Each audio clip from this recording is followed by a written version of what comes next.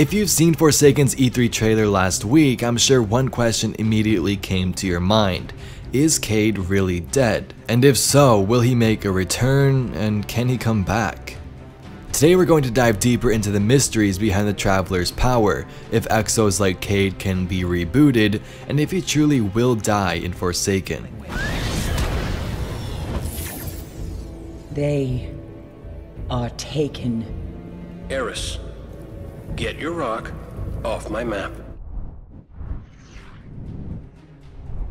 So let's kick this video off by answering the question that we all have. Is Cayde really dead? Now from a marketing perspective, this is actually pretty genius if you think about it. We've had countless expansions where the antagonist was some type of alien god that threatened our existence and what was left of humanity, right? In those stories in DLC, we always prevailed as a hero, everyone was okay, we became legend, and the NPCs that were close to us were unharmed. A great example of this is in Destiny 2's campaign. Although Ghaul and the Red Legion were daunting and caused this detrimental damage to the city, most of our close allies in the tower survived. Now obviously not the speaker, but it seems like most people didn't really care about him anyway. With Forsaken, Bungie went straight for the throat, taking a character like Cayde 6 that everyone loves, and just simply killing him off.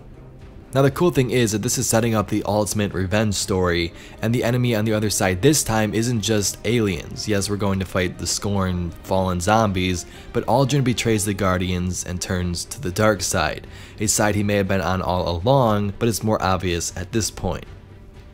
This is the story of a Guardian going to stop madness in the prison and avenging a fallen friend who's helped us time and time before. So will this friend, Cayde 6, get rebooted? Now in case you are new to Destiny, Exos have this thing, or this thing can be done to them, and it's called getting rebooted. Now take a listen to this Clovis Bray audio which describes it perfectly, and if you don't want to listen to it, you can skip forward a bit. Early experiments in exoscience managed to encode the human consciousness into a form that could be processed digitally. At the time, we believed that was the big hurdle to overcome in the creation of the exo. Little did we know, the real challenge would be the phenomenon known as dissociative exomind rejection. Nascent proto-exos developed serious symptoms of cognitive disorder that eventually led to death. It turned out the human mind would not reconcile its presence in a new body. It took multiple iterations in design but the Clovis Bray Corporation eventually developed several solutions. The first is to reboot the mind once it has been transferred, allowing it to awaken inside its new shell as though it were being reborn. This has side effects of memory loss and fragmentation, but it's highly effective in the prevention of DER.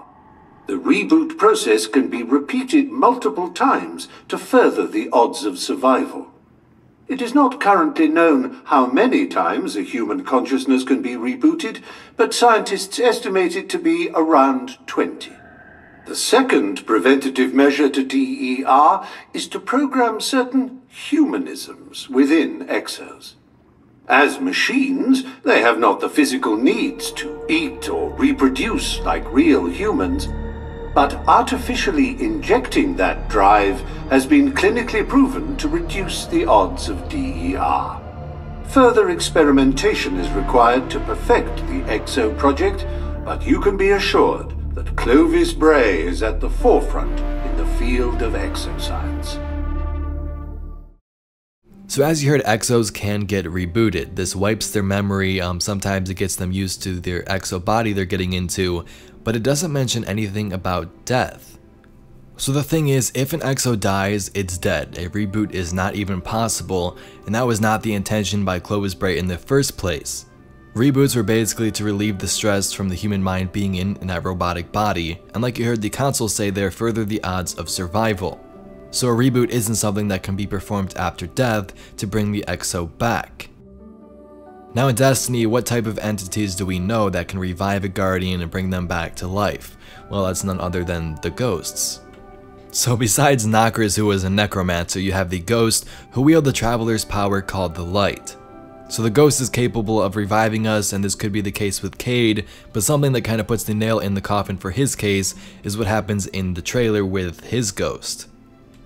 Now we see it here, it looks all damaged, hovering around Cayde's burnt looking face, and then he just gets shot out of the air by one of the Fallen, I think.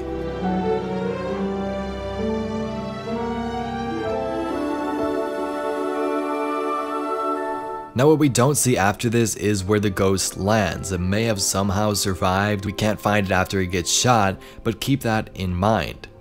But if the ghost is in fact truly dead, this means Cayde has zero chance of revival. As we see from the campaign, if a ghost is killed, their guardian has no chance of survival after death. Had no chance without their powers. That could be us. Guardian, if you die, I can't resurrect you.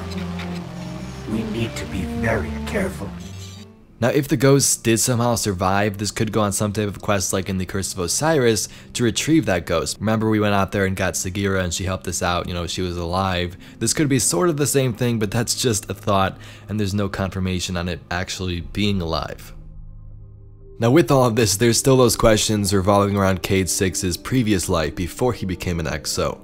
So I've explained this many times throughout videos, so I'll just make it, you know, short and brief for you guys that have already heard it. But basically at one point Cayde was a human. He had some problems going on. He had these sort of like bounties put on his head and he needed a way to get out of all this.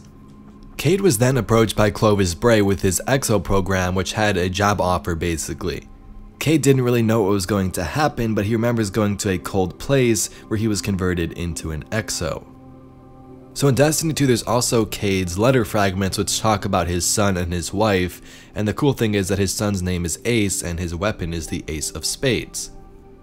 So there's been many theories I've seen people discussing about Uldren being Ace, but I don't think that's possible at all, just thought I'd throw that out there. We heard that Terminal thing mention the number of reboots an EXO can have before they start going a little bit crazy. In that audio clip there, he mentioned about 20, but the funny thing is Banshee44 has had 44 reboots, and that guy's memory is just drained.